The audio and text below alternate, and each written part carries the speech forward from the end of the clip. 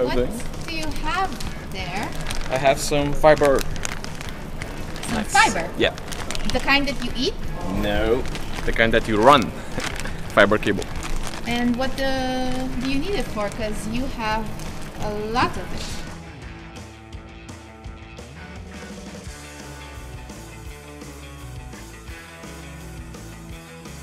Okay, so the fiber needs to get here. Yes.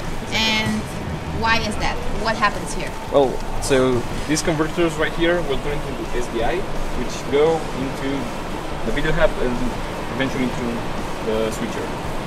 Um, and uh, our broadcast director is gonna switch through the cameras. So this this is where most of the PGL magic happens. Yes. Yes. Okay, so now tell me, show me where the fiber needs to go. Sure thing. Like the Right, the track, right this way. the fiber track.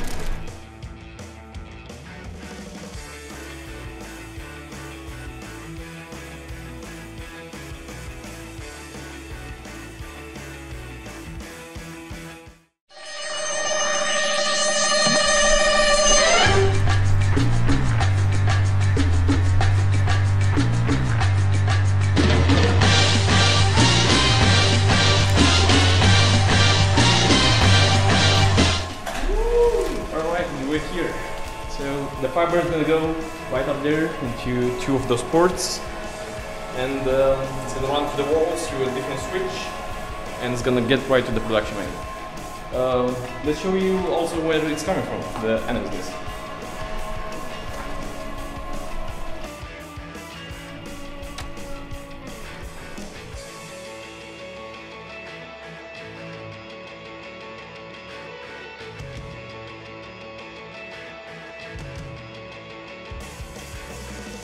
Okay, so here we have, same as the old, uh, the other rack, we have some converters that turns SDI into fiber. You see moving right here. Uh, this is the signal coming from the cameras, being converted to the fiber to go a long distance and back to SDI in the main production. And that's Fascinating stuff. yeah, that's It's- basically it. The fiber road. Yep.